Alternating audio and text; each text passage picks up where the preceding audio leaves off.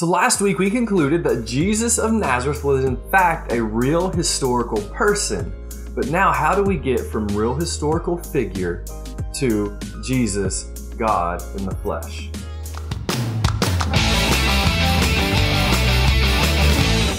Hey guys, Jeff here from That Bold Life, your weekly encouragement to help you live a bold life for Jesus. So the question is, we know now that Jesus is a real historical figure, and if you haven't watched that video, you can do so. It'll be linked right here. You can watch the video on how we know that Jesus was real in history uh, without using the Bible. So we know that Jesus was real. He was a real historical person, he was a real historical figure and teacher and rabbi. But how do we know that Jesus Christ, the one that we base our faith on, is actually God? Where do we get that information? And for me personally, this was a hurdle that I climbed when I came to Christianity at the age of 21. Uh, which, if you're not familiar with my testimony, it'll also be linked here and you can check that out.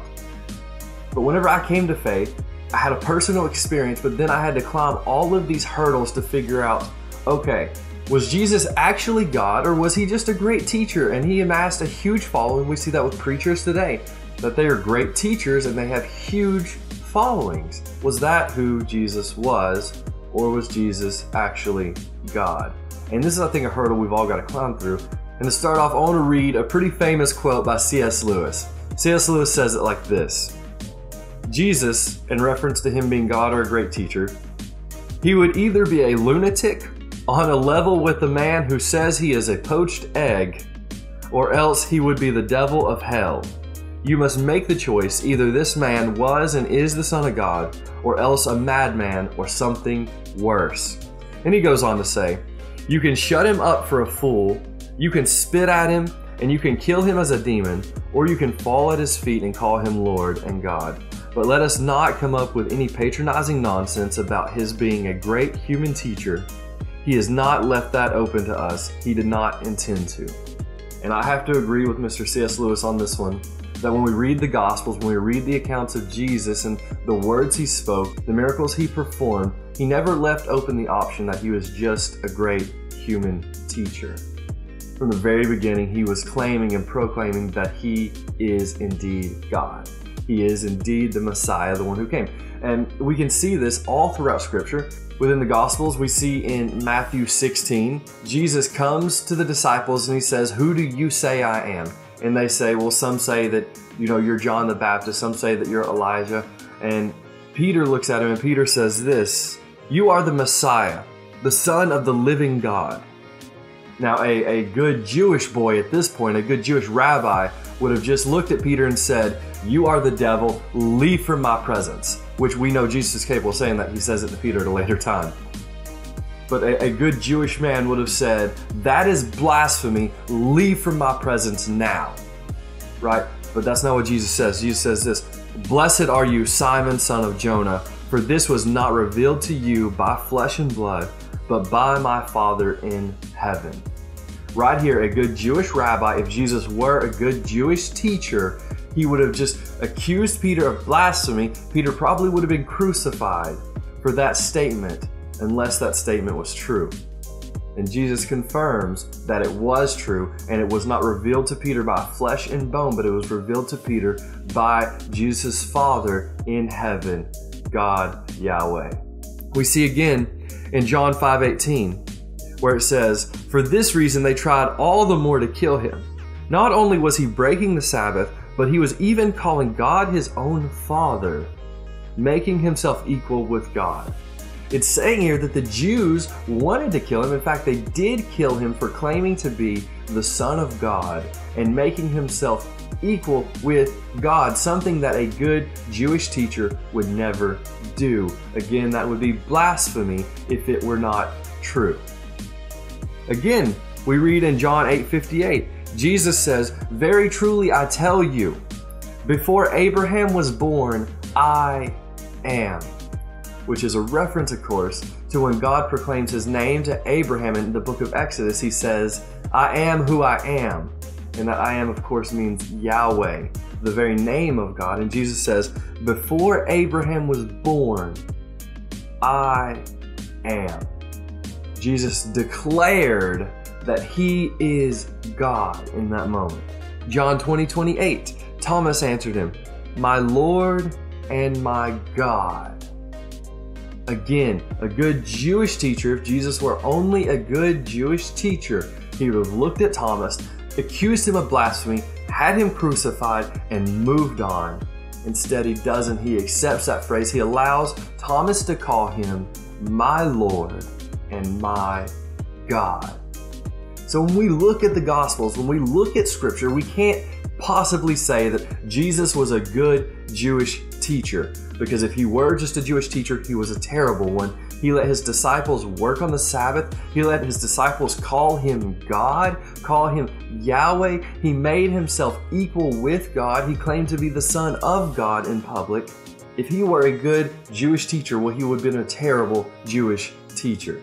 I have to agree with C.S. Lewis. He was either liar, lunatic, or the Son of God. Now, I want to tell you about why I believe he was the Son of God. And I believe that is truly proven with the power of the resurrection. Now, I don't have time in this one video to completely unpack everything I believe and all the proofs and undeniable facts there are about the resurrection, but I promise you that video will come at a later time. But I want to tell you about what led me to faith and what led me to believe Jesus was indeed the Son of God. And that was the resurrection. You should know that the entire power of Christianity lies in the resurrection. Paul says it himself in 1 Corinthians 15 17. He says, And if Christ has not been raised, then your faith is useless, and you are still guilty of your sins.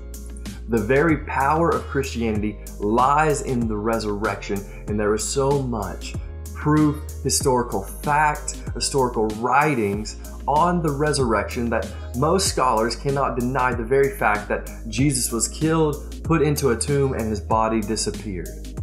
Now, there are all kinds of naturalistic reasonings, you know, things that don't exactly add up, and I assure you that video will come hopefully next week, actually.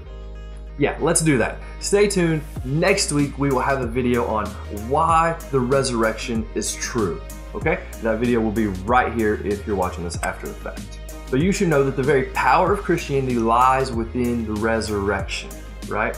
Because if Jesus simply died and rotted in a tomb, he was not God. However, we have historical proofs that his body did not remain in that tomb.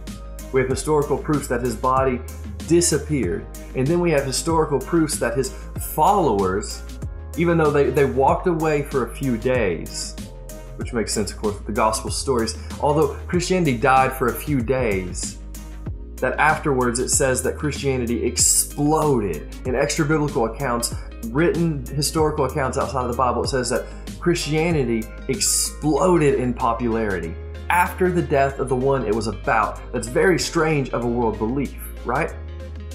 It's hard for me to say that Jesus is Christ, Jesus is God, and then Jesus dies, and then I'm like, okay, maybe I was wrong, right? And we see this, we see this in the Gospels. The disciples all kind of go back to their old ways of life, saying, okay, I was wrong. He is not God. But then all of a sudden, Christianity explodes. So, how do we know that Jesus actually raised from the dead? And one of my favorite proofs of this is what Paul says in 1 Corinthians 15. He says, Then he appeared to more than 500 brothers at one time most of whom are still alive, though some have fallen asleep. In this, Paul, remember when Paul's writing it, Paul's writing it shortly after the time that Jesus actually resurrected and appeared to 500 people. He says most of these 500 people are still alive. He says it like it's a challenge. Don't believe me? Go and find these people and they will testify that Jesus, in fact, revealed himself to them after he resurrected from the grave. Paul is saying, don't just believe my words. There are people who have actually seen the resurrected Messiah. Ask them. That's incredibly powerful because if I'm upholding a lie, I'm saying, no, he didn't, no one's seen him. Trust me, just be- believe me, it happened. Right? But Paul is saying, don't just listen to me, find one of these 500 men who've seen him and ask them, and they'll tell you all about it. Right? Paul challenges people to go find one of these 500 men. Another proof is actually where the disciples went out preaching the resurrection. right? Jesus was crucified and buried in Jerusalem, and they go back out into Jerusalem and preach the resurrection. It would have been impossible to prove the resurrection in the city Jesus was crucified and buried in if his body remained in the tomb. Because everyone could have walked by and be like, nope, those guys are nuts. There's Jesus. He's still in the tomb. Where they put him? The body was gone. The body was no longer in the tomb, which is impossible to happen because they rolled a stone in front of it and had a Roman army standing before the tomb so that the body could not be stolen. It says that. How else was Jesus' body removed? Jesus was clearly dead. The Romans were very good at what they did. They would have been crucified for allowing a living person to come down from the cross. He was obviously dead, obviously put in the tomb, a Roman army put before it. The, followers of Jesus did not have the numbers, especially after Jesus died, to go and fight a Roman army to steal the body. How else was that tomb empty, if not by the very power of God resurrecting Jesus from the dead? And all of these things. The empty tomb can be proven outside of the Bible. There are writings, there are debates, there are first, second, third, fourth century writings about how the tomb was empty, that the Jewish authors of that time believed the body was stolen, that they believed that, you know, they snuck in in the middle of the night and took the body. We know that would have been impossible because of the army that was guarding the tomb. But then the third and probably the most powerful thing for me is what the disciples did that after Jesus died and after Jesus resurrected, or maybe he didn't, if you believe he did not resurrect, the disciples then turn around and they go out and proclaim that Jesus Christ had resurrected from the grave. The funny thing about that is, at this time, they were trying to shut down Christianity, so anyone who claimed that Jesus was risen would have been killed. Yet, Christianity grew faster than it ever had before while they were being persecuted, while they were being murdered for saying Jesus is risen, the disciples never shut their mouth. They went out and proclaimed Jesus was the risen God. All they proclaimed it to the nations, to the masses, that every single disciple, every single apostle went out and was martyred for the faith. They were killed, there are extra biblical accounts testifying to the deaths of several of these apostles that they were killed, they were crucified, they were skinned, that they were boiled in oil. We can actually see this and read it in extra biblical accounts that it really happened, and yet Christianity did not die. In fact, it prospered. You see, but the very men who would have made up this lie would have been those 12 men. And I don't know of 12 men that would die to uphold a lie. I think at the very last minute. No, dude, actually, I was just kidding. You can take me down. We're good. Uh, didn't actually happen, right? But no, they never denied it. At least what we can read in the Gospels, what we can read in extra biblical accounts, they never denied the gospel. And the gospel and Christianity continued to grow exponentially after that. That is why I can have faith that Jesus, yes, he existed and he is truly God in the flesh. That he came, he lived, and he died for my sins. That is what I believe.